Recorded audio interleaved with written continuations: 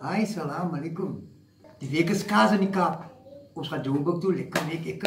En ek maak my mind op. Ek gaan 'n lekker foksie koop. Een twee drie koop ek 'n foksie en ek ry die foksie af Kaap toe. Lekker hier in die Kaap. O, die mense dit bly pinkie ry 'n foksie met Maggie's en lekker. Ah, wie die foksie se naam ja. Koop my brilletjies en wie sit ek agter daai foksie? Jy kan imagine. Imagine hoe sit ek agter daai foksie? Kyk hier so. Ah, ek wil vir die mense met pinkie chow. Check it out. Keep away. Mense vang, en ek vang, en die mense wys hoe met die foksies kwai, en ek vang ek sit so. Nou die, ek het mos hier wireless hier, nou die vriendjie wat langs aan my sit, het so 'n groot bok, as lyk soos dit ek my wireless het binne my bok. En ek sê hou dit laag, en dink is dit tyd. En die music wil dit. Oh, Please to say, see the boogie, eat the week, bar the boogie, no, but da, no. Hoe die mense begin wys my so. So different vir my heeft die hoeko uit die, mense wys my daar buite kan my foksies aan die brand. God, dit was dit. Salam. Thank you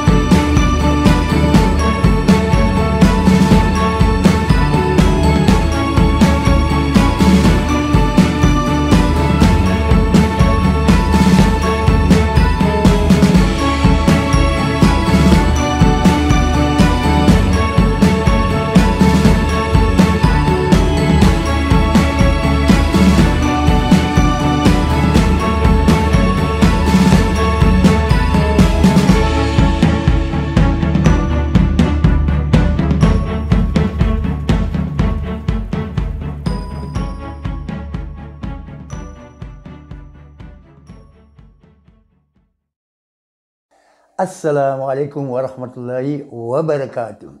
Die is nou weer 'n myn myn show van Pinky Chow. My naam is Abdul Rahman Khalan. Dit is my original regte moslim naam. Maar almal ken my as Pinky. Pinky Chow. Wel, as jy nie vir Pinky ken nie, dan ken jy nie vir Pinky nie. Wel, ons het 'n voetskiem wat ons aanweek. Die kom ja, ja, dan ek was 'n kind geweest. Dan was ek saam met Imam Harun buite in ons huis wat ons ingewys het dat my ma lief heeldag in die kitchen gewys het. Kos gegee het vir die mense dat Imam Harun vir ons in ons huis gekom. Ek was so huiskind in sy huis, ons hele familie. Ons het goed is geneem, kos geneem na die township met alles se se se se se hidayah wat hulle vir hulle gegee het en met ons effort and sacrifice wat ons met hulle gewerk het because hulle was ook maar so gewoon soos enige mens is. Waar gaan eet? Waar gaan ons klere kry? Waar gaan ons slaap? Dan het jy die kwaliteite van die Islam van Allah se kingdom verbreek. Want sonder Allah kan ons niks maak nie. Soos vandag voel ek ek wil praat en hoe ons begin met die pinky chow food skimming. Because dis 'n baie baie groot ding. As jy alleen net mens kos gee en jy sien hulle smile op hulle gesig, dan is dit 'n klaar dua. Wat is die dua wat hulle nog vir jou gaan maak? So vir my is dit 'n eer om dit te kan doen. Miskien kan ek niks meer doen nie. My kleinkinders moet dit doen. Ek ek ek, ek, ek dink is vir hulle en ek span hulle in. Ek wys hulle ek ek, ek, ek, ek maak ek bou vir hulle sterk om vir hulle te sê wat is die eintlik wat ons maak. Jy sien net kos dit nie. Hier is vir Allah. Dis een van die pilare van die Islam. So hulle moet lief wees vir die en uh, ons moet uh, uh, ons enjoy met die. So die is my ding wat ek nou maak in Hannover pa en my hele familie is involved en ons uh, het begin die klein, maar ons gaan groot raak inshallah. Because Allah breek by die malaikat wat ons maak, hy wil hê hy moet breek van ons en die hele kingdom van hom. Hoe kan ons sy pilare respek en dissipline? Allahu Akbar. Voor die uh, die lockdown van die uh, die uh, die uh, die 19 COVID en uh, so mense hulle werk verloor die mense hulle karre die huise en goed is almal die goed is verloor al die hele dinge julle verstaan mos die prate. Dan raak die sponsors wat ons gekry het aan die mense 'n bietjie baie weak. Maar met die kudrat van Allah subhanahu wa ta'ala dan kry ons baie ja, baie maar baie baie ja van ons families en van ons uh, vriendjies en so wat ons is en uh, by my is so 'n nuwe pak, 'n pinkie chow. Ek wil nie nog dinge sê wat is is 'n normaal iets. Die die die kom verby jy wat wat wat wat 'n bietjie kos soek.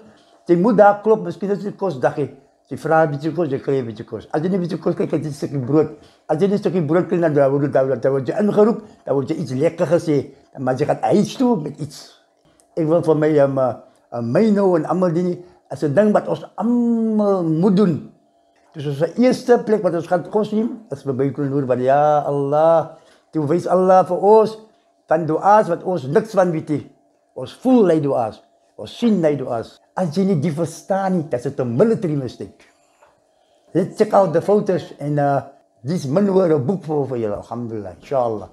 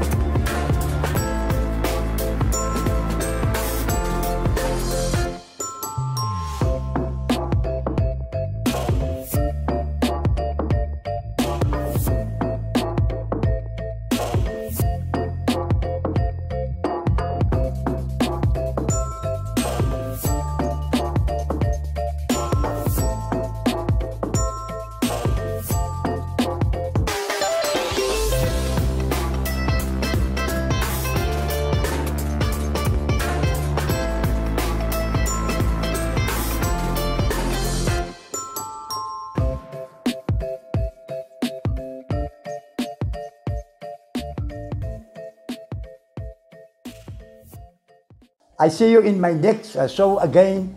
And uh, I hope you let my uh, show enjoy and uh, subscribe to my channel. Do it now. This is Punky's Chow. Wow, look at me now.